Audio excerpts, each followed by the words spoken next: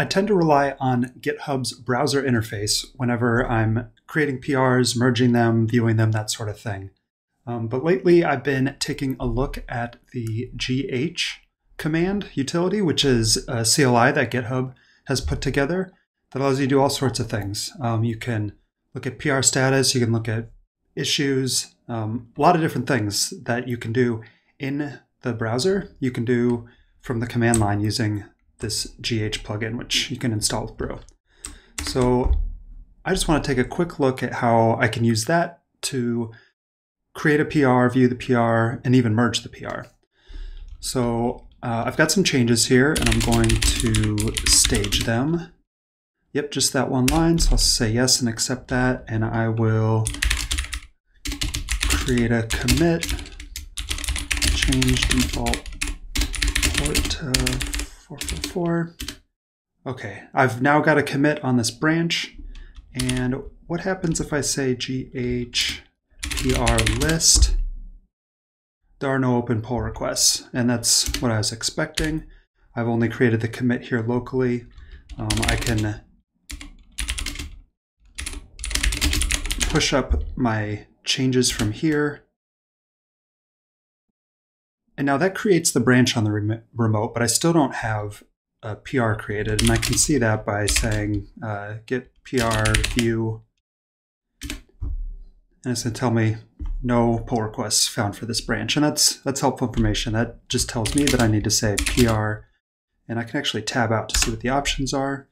And it is create that I'm looking for. So I'll do create, and it'll open up this prompt and walk me through. And I actually like that title as is, so I'm going to accept that. Um, let's see. Do I want to launch NVim to enter uh, a body? No, I'll just hit enter to skip. I like that as it is. And then I want to do, so I guess we could continue to the browser if we wanted to then make some other changes or like assign some uh, reviewers, that sort of thing. But I'm just going to submit as is. And now this is a link that I could click through to view it in the browser as well. But I can view it here by saying get P GHPR view. And it'll show me the title. It'll say it's still open.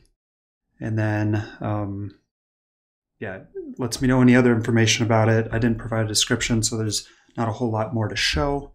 Um, but again, this tells me kind of the the status that it's in. Although I can also do get PR, GHPR status to list the status of it. You can see um, actually all the different uh, PRs that I'm working with right now. And it turns out that this is the current branch one, which is still open. And then it also lets me know any that I've created. And it's just this one as well. So now um, I'm feeling pretty good about that PR. There's not a whole lot more that needs to be done with it. Um, this is just a, a personal repo, so I don't need to go through any sort of you, you know back and forth with another contributor to see if if they approve the PR. So I'm going to go ahead and say GHPR and tab that out, and I have an option here to merge. So let's see, merge, and let's even pull up the help. So you can include the dash dash help with any sort of command and subcommand combination, and it'll display some details here. Um, yeah, there's some flags we can provide if we want to delete the local remote branches after merge. Um, if we want to specify which of which type of merge it does. But we'll see that if I do GHPR merge, it'll actually prompt me for those things.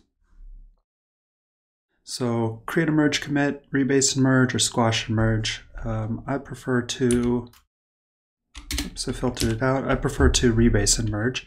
So I'll choose that. And something that I am noticing here is it provides these three options. But if I jump back over here and I look at the details for this repository, I actually disabled the allow merge commits option. But it seems like that's just a configuration for the github.com interface and not for the GHCLI. So just something to note that um, these settings here won't necessarily apply to what you're saying in here. So I'm going to do a rebase merge, and then it also asks me what I was looking at with this flag here, which is do you want to delete the branch locally and on GitHub? And I'm going to say just hit enter to accept the uppercase one, which is no, because I don't want to delete the branch locally at the moment. And then do I want to submit it? Uh, yes. So I submit it, takes a second, rebased and merged the pull request 5. And so if I go back and do PR status, I can now see that this was merged and that I don't have any open pull requests anymore. So that's kind of the flow for using uh, GH. There's a lot more to it, so you can do um, GH help to see all of the commands that are available. Um, yeah, have some fun with it. See see what's possible. See how it fits into your workflow. You'll definitely still have to jump into the browser from time to time to do a lot of the you know sort of extraneous uh, pieces of maintaining a project, but um, it's nice to be able to do some of this from the terminal. That's it for this video. Go ahead and hit the subscribe button down below if you want to see more videos like this. Uh, leave any comments if you have questions, and I will see you next time.